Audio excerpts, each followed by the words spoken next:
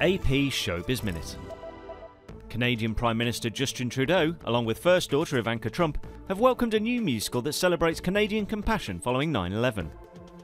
Trudeau and Trump attended the show Come From Away on Wednesday night at the Gerald Schoenfeld Theatre in New York. Jussie Smollett questions President Donald Trump in his new song FUW. Some of Smollett's lyrics focus on Trump and his administration, asking, Who got that popular vote? Was the whole thing just a joke? Elsewhere, a man in a wheelchair runs over a Donald Trump mask.